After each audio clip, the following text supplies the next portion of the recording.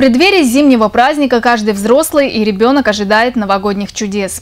Воспитанники отделения спортивной гимнастики уже получили долгожданные новогодние подарки.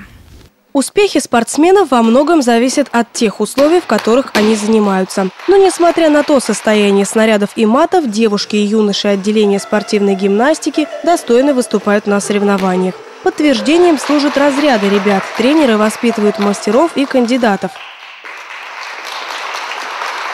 Перед Новым годом гимнасты получили очень нужный подарок. При поддержке городского совета народных депутатов в спортивной школе появились гимнастические маты. Для спортсменов это долгожданное и необходимое приобретение. За долгие годы работы отделения маты не менялись и уже давно пришли в негодность, но тренеры и ребята продолжали на них заниматься. Сегодня мы общими усилиями сконсолидировались и решили одну из сложившихся больших проблем в школе, именно вот в отделении гимнастики.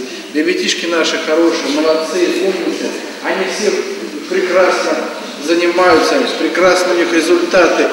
Будут они там с большими спортсменами, добьются они больших высот или нет, но они занимаются для себя. И это уже радует, что наши дети заняты, что они заняты делом, что они воспитывают в себе нравственность, они воспитывают в себе красоту тела, движения и духа.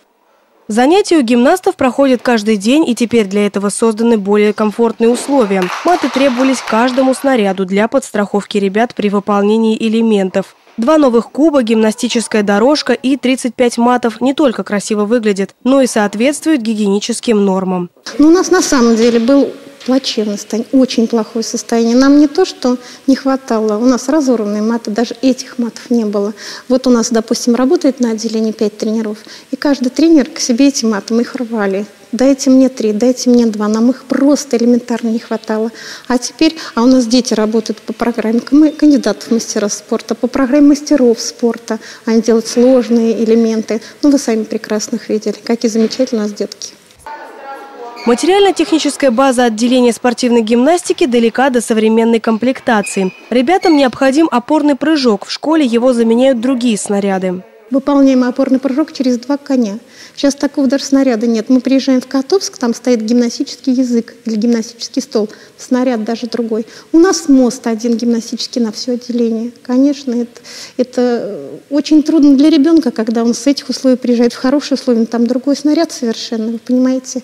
Поэтому нам это необходимо как воздух. Конечно, хочется, чтобы на нас повнимательно обратили внимание и помогли еще немножечко, хотя бы немножечко.